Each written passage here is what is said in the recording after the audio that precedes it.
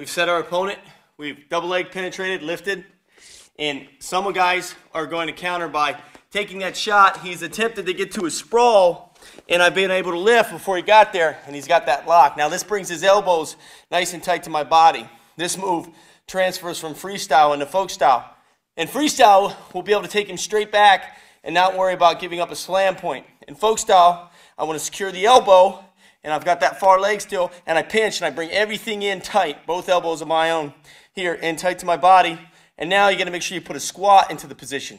So I lifted, I squat, and I take him to the elbow side. And it's important that I transfer my hips over to the leg side.